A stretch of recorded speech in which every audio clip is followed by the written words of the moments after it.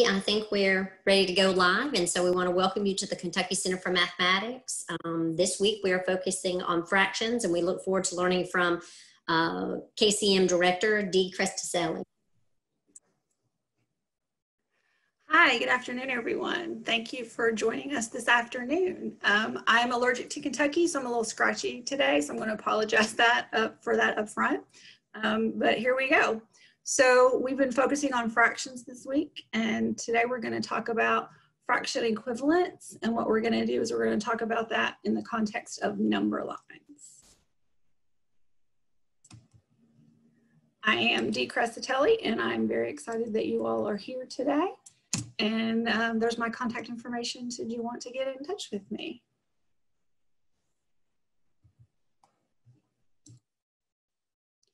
We're going to start with this activity called Are Fractions Numbers?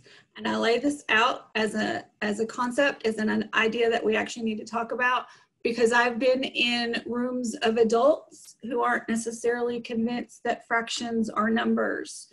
Fractions are these things we're supposed to manipulate on paper to get answers. Um, I know a couple people who have thought of them as a command to do something, that they're not numbers right? They're their own special thing.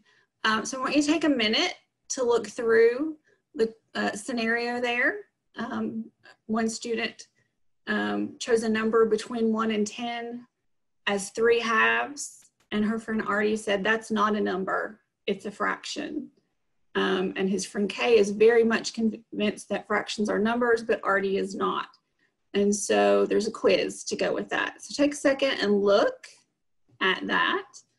Um, and then think about from a kid perspective, what you think some of your kids might have to say. And when you are ready, unmute or type in the chat box.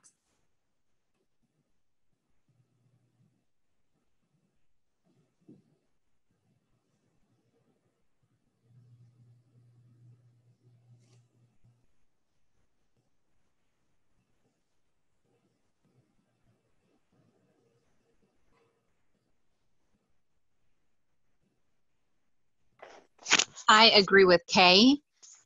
Um, and so all of those answers would be yes, because fractions are numbers. But if the kid doesn't understand that fractions are numbers, then he would probably answer no for those because he wouldn't understand that you could put them on a number line or that you could um, add them and make whole numbers and things like that.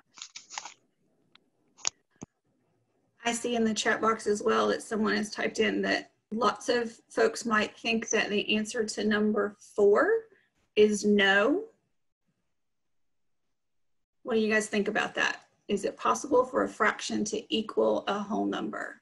What might be some misconceptions about that? Well, I know it's very common for students not to understand like a number over a number is one. You know, five over five, four over four. To me, that's where number four plays in, much less than going to like multiples like eight over four and things like that you know that's just taking it that much further. Yes. Um, and i sat in a room with a grown adult woman who really thought that mixed numbers were a whole number paired with one of these little fraction numbers that you know you put together to make a mixed number that all the fractions lived between zero and one. So she said no for a fraction to equal a whole number because all the fractions live between zero and one and then you just start adding them together with whole numbers to get the mixed numbers. I know with a lot of my students, they think of a fraction being part of a whole. So they don't think about it being that it can't equal a whole number. And a couple of you actually just put that in the chat box as you were as you were talking. Um, there that it's not ever it can never be more than one, more than a whole, right? That fractions live between all the whole numbers across the whole number line. So that is precisely why this number line work is really important. Um, our research for this today is based um, on the IES practice guide.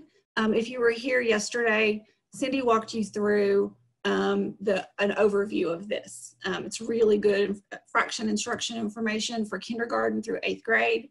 And she walked you through um, the review of the recommendations really quickly to sort of telescope out what this week was going to look like.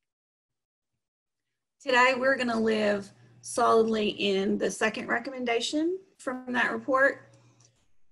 The idea is that we have to help students recognize that fractions are numbers and that they expand the number system beyond the whole numbers. Um, use number lines as a central representational tool in teaching this and other fraction concepts from the early grades onward. And we're gonna walk through some of those uh, components underneath there over the course of the rest of this session. I feel so strongly about this particular recommendation from that guide that all of recommendation two is in your handouts as the first thing. Uh, number line work is just pivotal, pivotal, pivotal to basically understanding number, whatever those numbers are, um, and understanding the number system. Okay, it's really good. So number line work actually starts with foundations in whole number. Um, and I would say if you've not done a lot of number line work with students, fractions are not the place to start that. Um, they actually have to build a concept of what numbers look like on a number line with whole numbers. So I'm point two um, in Kentucky, a second grade measurement and uh, data standard actually, um, because it's relating addition and subtraction to length. So thinking of number line work as uh, the geometry of the space, right? That we have equally spaced points out and sort of just getting a sense of that scale is really important um, before we start trying to build the fraction work on top of that. Um, but having the idea of how a number line works is really important to this work. So I want to look at these through a standards lens. And so in Kentucky, um, the first number line standard that has to do with fractions um, is Kentucky 3 NF2, um, and it's about, it literally says, understand a fraction as a number on a number line. It's st stated pretty clearly in the standard. Um, and then represent fractions on a number line. This standard is, is divided into two parts. So A is represent a fraction one fourth. I'm using that as an example because reading it algebraically is just really cumbersome. So representing a fraction one fourth, a unit fraction on a number line by defining the interval from zero to one as the whole and then partitioning it into four equal parts, right? So we recognize then that each part has a size of one fourth. And if you were here yesterday, we talked a lot in Cindy's session about the size of the fraction is the way we needed to look about it. And then a unit fraction, one fourth, is located one fourth of a whole unit on the number line. It's really important that kids have an understanding what units are um, because we're going to keep coming back to that in all of the fraction work this week. So understanding that the length of one on the number line is our unit, and then the fractions become subunits from there. So here's what that looks like.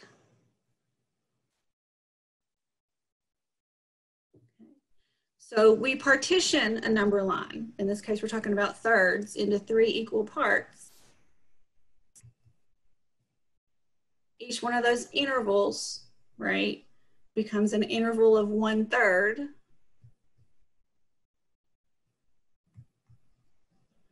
And one third is a point that has a name on the number line. There's a lot built into that. Second part of the standard, represent a non-unit fraction, we're gonna say 3 fourths on a number line by marking off three lengths of 1 fourth unit fractions from zero. So then our resulting interval has a size of 3 fourths and that endpoint locates the non-unit fraction 3 fourths on the number line.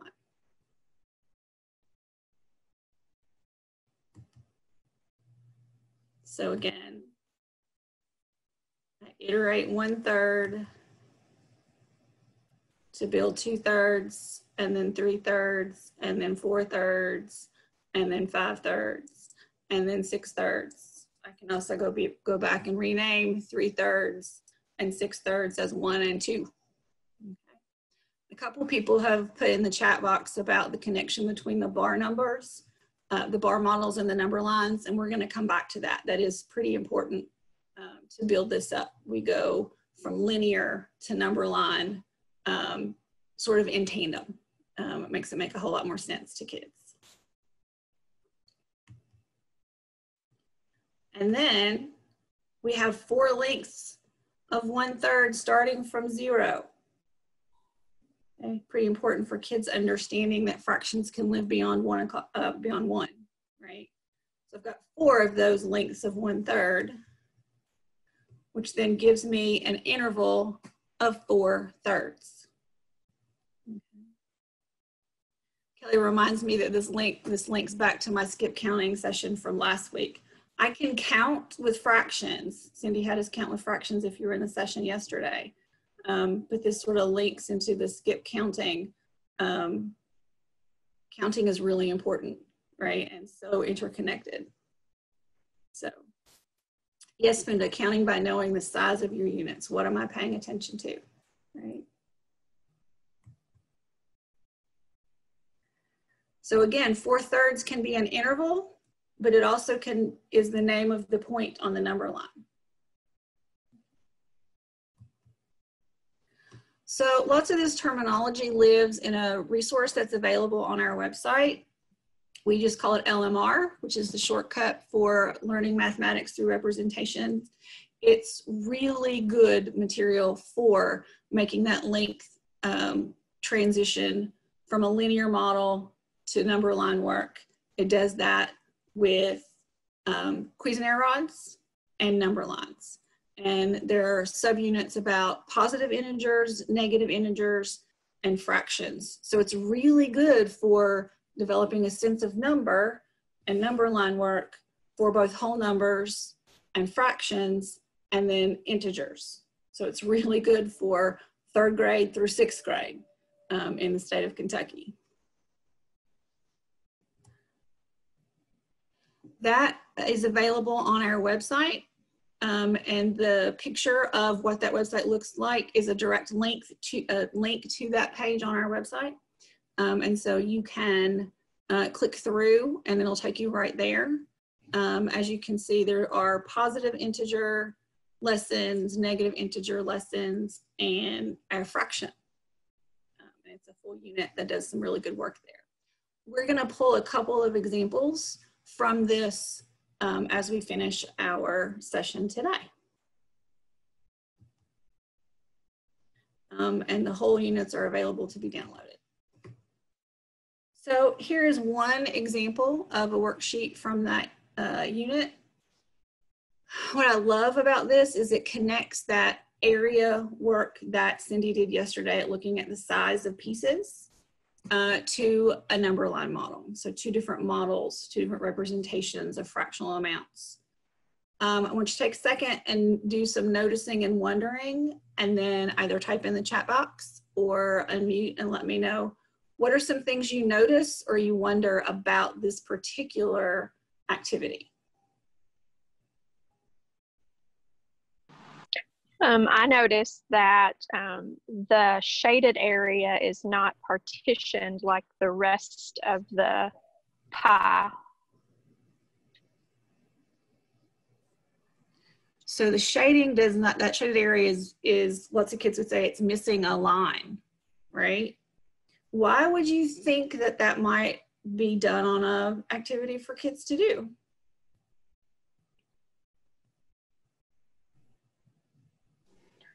I think it would force them to reason about the shading as well as the partitioning.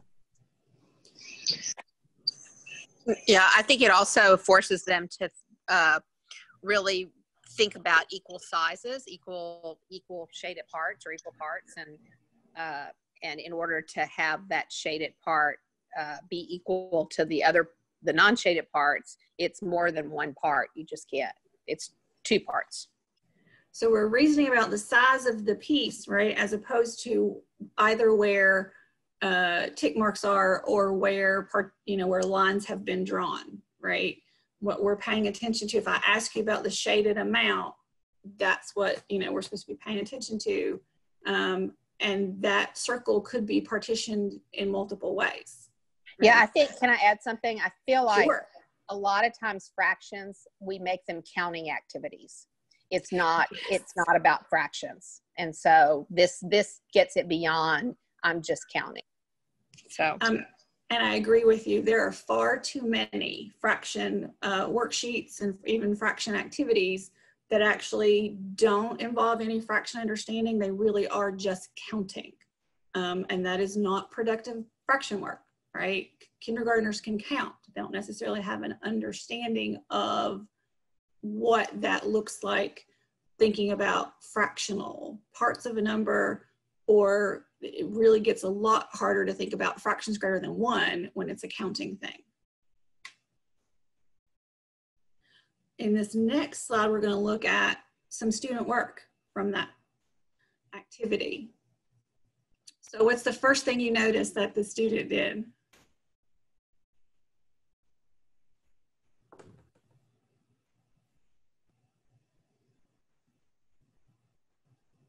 The student tried all three possibilities. So the student really did go through and look at here's what here's what all three of these number lines look look like, right? Before they chose what they did.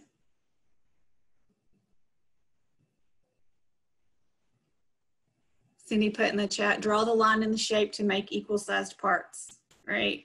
So lots of kids are gonna need to make them all equal sized parts and that makes perfect sense, right? To do that because we, if we've taught them to think about the things need to be the same size. Um, But, we're gonna do this comparison, Hey. right?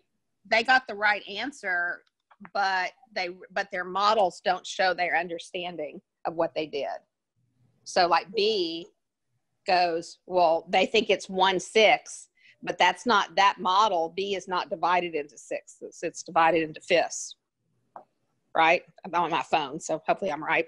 And Right, so they don't have fractions underneath it, so we might not have enough information to know that. They just knew that it, that doesn't match. So we are missing some information, right?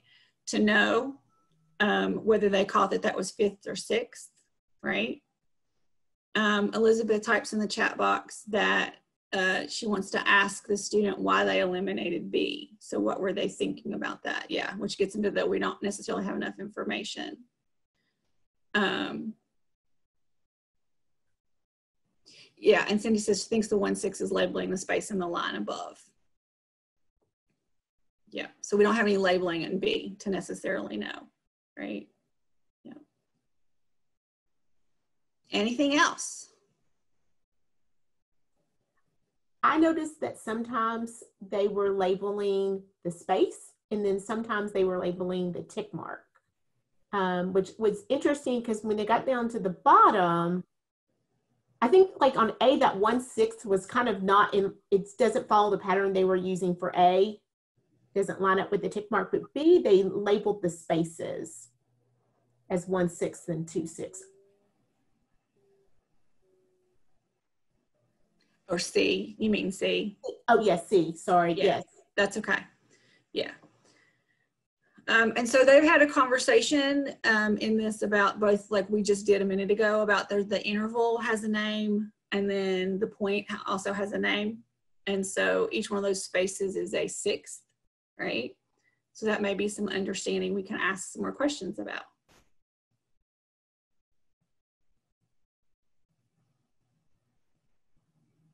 Elizabeth's got all sorts of questions she wants to ask. Uh, labeling the whole number line going from zero to one, right? Um, and it may be that she's been asked to go back to what the unit was, right? Um, and then Elizabeth talks about wondering what the student would do if the problem was greater than one.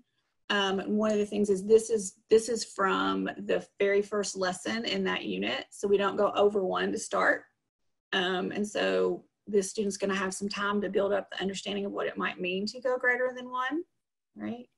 I wonder if they had put the arrow on the second tick mark on every one of them, uh, what they would have done. Right, because that would be a little tricky for a first first pass with this, right? Yeah, but it's my wondering, like what what would happen for the next step. I would want to I would want to see what their understanding. What that would happen. Nope, and that would be good to to sort of spend some time seeing what that might happen. Awesome, thank you all. So we have lots of fraction standards for third grade. It's a pretty important part of that grade. And so additional standard that goes with equivalence of fractions is comparing by reasoning about their size. That size is just a magic word for fractions in third grade in particular. So we're meant to understand two fractions as equivalent or equal if they're the same size or the same point on a number line.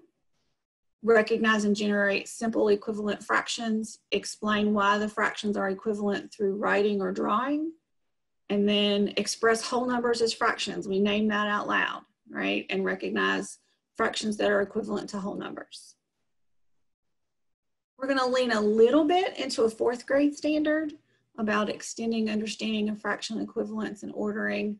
Um, going to use visual fraction models to recognize and generate those, understand that they can have different numerators and denominators, even though they are the same size. Again, we go back to size. And then we're going to explain why um, a fraction is equivalent to another fraction because we can do the multiply across the top. I can multiply that fraction you know, a, that, you know, the algebra piece of that, um, do that multiplication, but we start with that visually.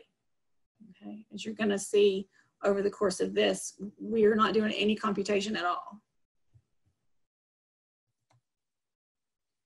So we start with equivalent fractions on a number line. And so I've partitioned off between one, my number line goes on to two so that you can see that.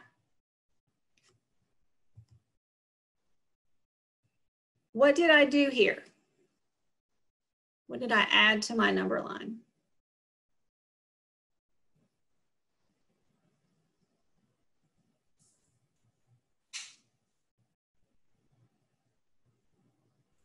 You subdivided each section or each of the fourths so that now our total, um, we've got twelfths.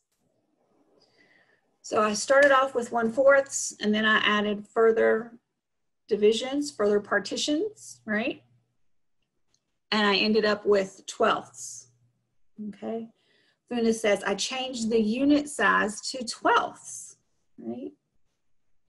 So how did that rename my point, which had been three fourths? What is the name of that fraction if I'm talking about using my unit size to be twelfths? My subunit is now twelfths. What does 3 fourths become? 9 twelfths. Lots of you typing that in the chat box. So 9 twelfths. Okay. Did I need to do any calculation really to do that? Was I multiplying the top of the fraction and the bottom of the fraction by the same? No, I wasn't. Okay. This starts to lean into why fraction operations make sense right? It wasn't a numerical computation. It was an understanding that the fraction gets renamed because I'm naming the section that I'm talking about. The length of the space was, you know, partitioned in a way that I have 12 units to go from zero to one. And so that point is nine twelfths of the way. It's nine twelfths from zero, right? Or it's three twelfths from 12 twelfths. And so it's nine twelfths. Okay. Kids need lots of experience with seeing fractions on number lines, with building number lines, with putting those partitions in themselves, okay? So that they can see that, um, and so they can see that the different names that we have for fractions um, that are equivalent basically come from this kind of image, that it's about the unit we start with, the subunits, and then if I do any further sub, you know, any further partitioning, right? And Funda's typed in the chat box that paper folding is also very good, for, and it is, because you can fold a paper into halves and then fourths and then to twelfths, and then you can see that, right? Okay, and then fraction bars too, you can see that in those as well. Okay, any questions about this particular number line?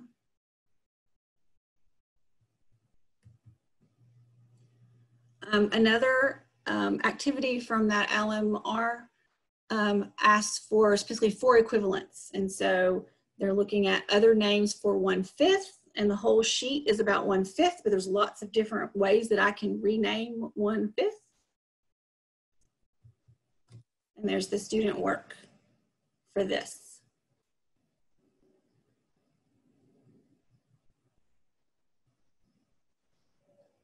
One of the things that I like about this is the student labeled everything. They didn't need to label everything to come, but they really needed to label everything um, to do that. Um, and so the partitioning helps me know what the names of the fractions are, right? How many subunits there are between zero and one, right? Um, but then this, the students get to add tick marks as they need them. Some really good prompts and open-ended things both in this uh, resource. It's really good for that. The big idea from lots of this is that equivalence is effectively renaming. I've used that word a few times over the course of the last 10 minutes. So students who've been composing and decomposing whole numbers and seeing the different ways of renaming specific quantities have an easier sense of equivalence as renaming if we've spent some time with that with whole numbers. So 27 can be lots of different things, right? I can decompose 27 lots of different ways. I can look at a number line and see different ways of renaming right? If kids have lots of experience of seeing one fourth and two eighths together, seeing that the, the names come from those subunits, then it's easier to see two fourths, one half, one half, and four eighths. Um, and it's really much easier to see four fourths and one and eight eighths as equivalent as well. And kids these experiences seeing these as not weird ways of writing numbers of, these are just different ways that I can name a quantity but also true for fractions, right? And this is where I lean a little bit into the um, operations making sense. Um, part of that is lots of the fraction operations really do start with a sense of equivalence. That three fourths is one fourth plus one fourth, one fourth plus one fourth. Um, I can also write that as three of these one fourth things, three times one fourth.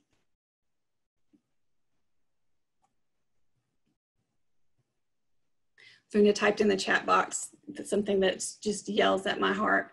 Um, once you develop a strong understanding of equivalence, there's not really a need to teach any meth meth method for addition and subtraction. Kids easily see needs for creating same size units. It goes back to Cindy's slide from yesterday.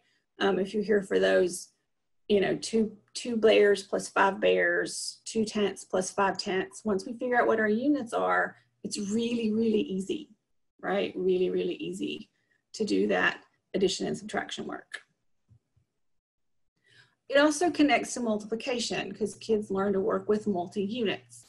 Um, again, this ties back to my skip counting. Um, we ask kids to think about seven times six by skip counting, um, hops of six or seven on a number line depending on the context, area arrays, uh, seven rows of six, um, compartmentalizing that into five groups of six and two more groups of six, right? And these are the same kind of questions and same ways we need to be asking kids to think about fractions, numbers built out of subunits, okay? We do all this work teaching kids to compose and decompose whole number. We need to give them the time and space to do those same things for fractions because they're numbers. And that's what that looks like again on a number line that thinking about subunits and working across that way um, is a much clearer way to do this than thinking about this as procedural work. Really is composing and decomposing and being able to show that visually on a number line. So um, a couple of you asked before we got started about Yes, can you guys all see my Jamboard? Yes, someone give me a cue. Okay. Yes. Awesome. Okay.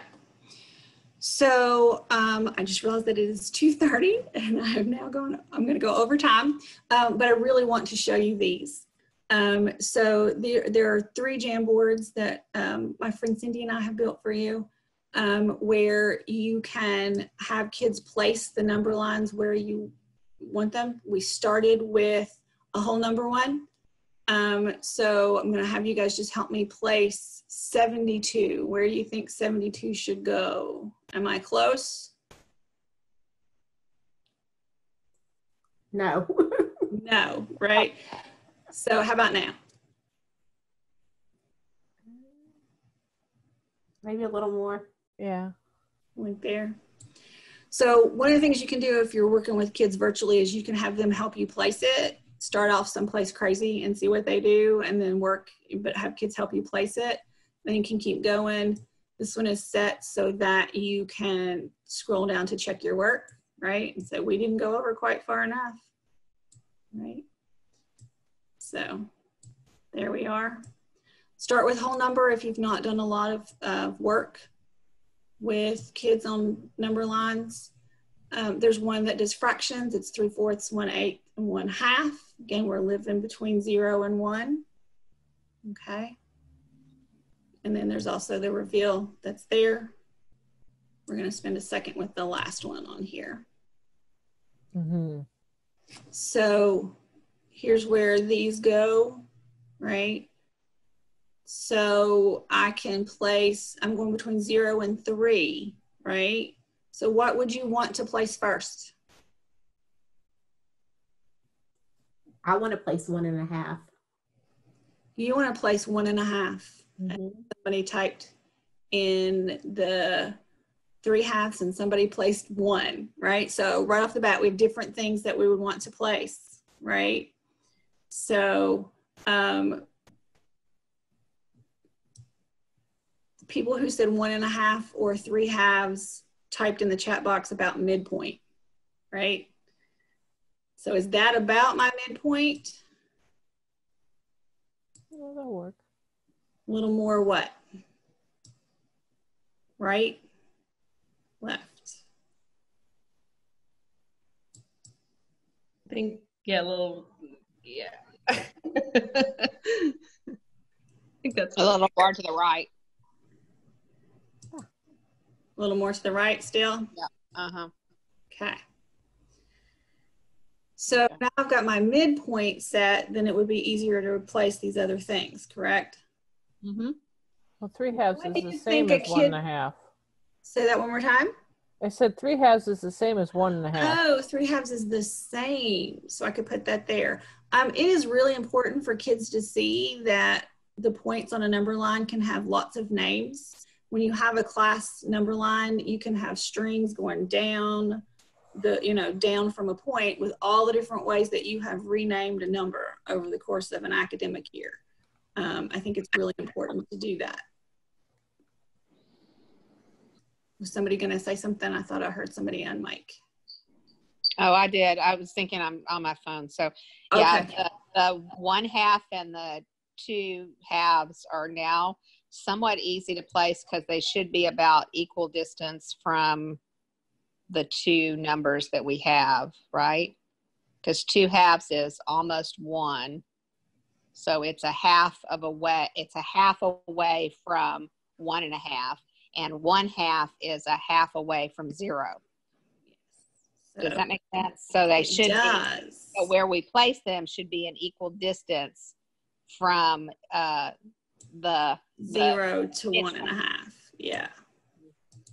So approximating that because it's a little harder to get them exactly right. uh-huh. Right. So we like our work. What's confusing at first is one half is not the midpoint, right? You have to look at what your scale is, what you're working with, right? So our scale was zero to three on this, right? So this is not the one you start with. Okay. Questions. And again, we've got our check. Look, we were pretty. Oh, look, we were not quite so great here. Okay. Questions about that?